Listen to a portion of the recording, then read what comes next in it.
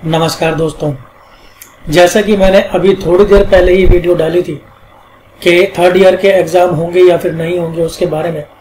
और मैंने कहा था कि आज या कल में नोटिफिकेशन आ जाना चाहिए इस बारे में कि एग्ज़ाम होने हैं या नहीं होने हैं या फिर पोस्टपोन होने हैं तो भी। तो देखिए, आ गया नोटिस नया नोटिफिकेशन आ गया है DU का, जिसके अंदर जो एग्ज़ाम है थर्ड ईयर के, सभी सेमेस्टर्स के, सभी कोर्सेज के किसी भी मोड के हों वो तो उनके एग्ज़ाम पोस्टपोन हो गए हैं।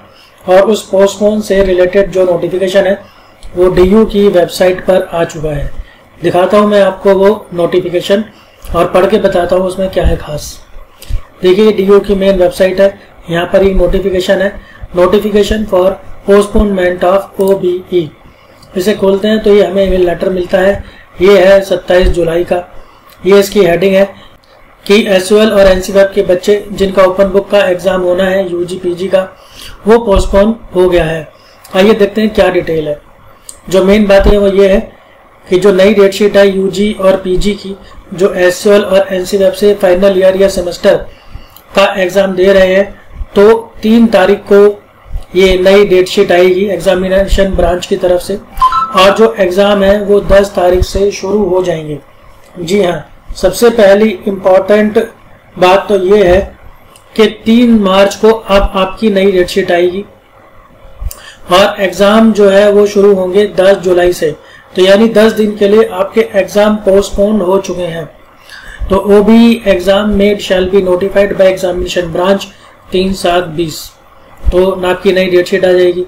फिर बेसिक गाइडलाइंस जो है एग्जामिनेशन ब्रांच की, जो कि 14 मई को आया था तो वो सब वैसे के वैसा ही रहेगा, कुछ भी नहीं बदला है। फिर ऑल अदर एक्टिविटीज़ जो और दूसरी एक्टिविटीज़ थी, जिन्होंने 19-20 में एडमिशन लिया उनके लिए ओबीई से संबंधित तो वो सब भी सेम रहेंगे, और अगर कोई चेंज आया तो उसके लिए कॉरिजेंडम या अमेंडमेंट आ जाएगा।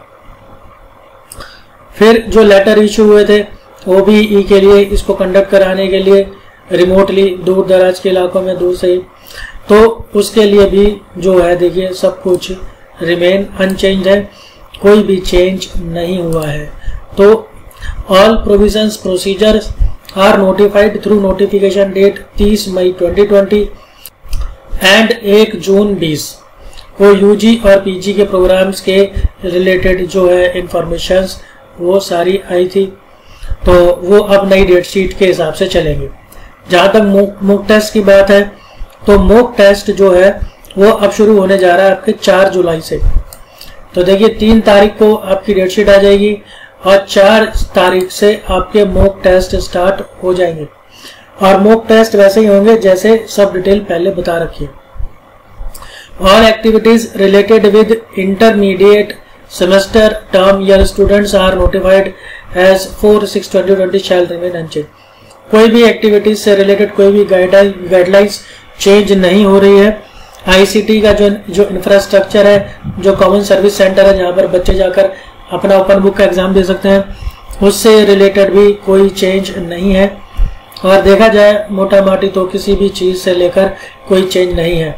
तो कुल मिला के बात इतनी है, आपके ओपीई एग्ज़ाम 10 दिन पोस्टपोन हो गए हैं।